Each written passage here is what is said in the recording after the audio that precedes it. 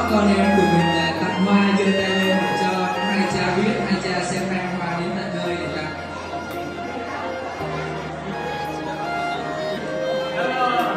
Yes, one, two, three. Right.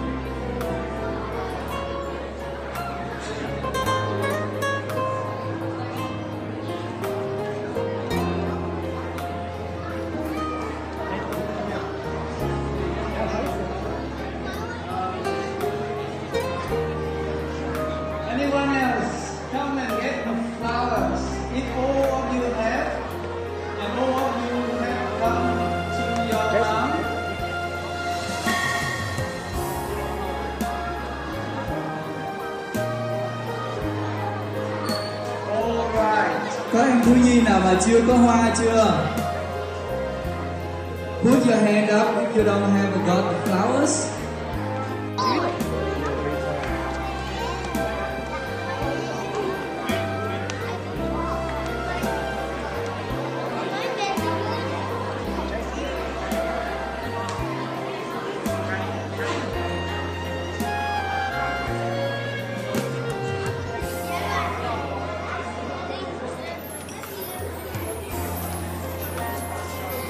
So guys, if you have your mom here now at the moment and you already have flowers, I think you can come and stay with, sit there with your mom. Thương, cảm tạ Chúa đã ban cho chúng con tình yêu của các người mẹ. Tình yêu của mẹ thật cao quý, không thể nào đo lường được. Sự kiên, sự kiên nhẫn của mẹ dường như không giới hạn. Xin cho đôi bàn tay yêu thương của Thiên Chúa luôn ở phía sau nâng đỡ và hướng dẫn các ngài. Chúng con cầu nguyện cho những người mẹ phải sợ hãi vì tình yêu hoặc sự kiên nhẫn cũng như thời gian đang cạn kiệt. Chúng con xin Chúa chúc lành cho tất cả các người mẹ bằng tình yêu đặc biệt của Ngài.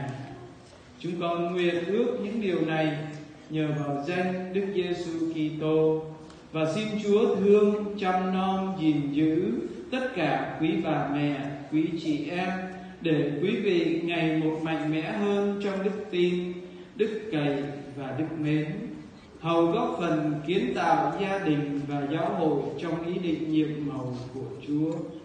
Cũng xin Chúa thương đến quý bà mẹ đã được Chúa gọi về và được chính Chúa và được chính Chúa là nguồn vui đích thực mà đời sống vĩnh cửu.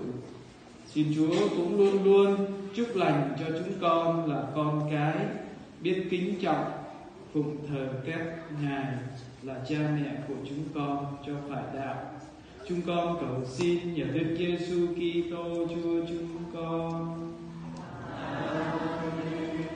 Rồi giờ đây cha mời tụi con về chỗ lại và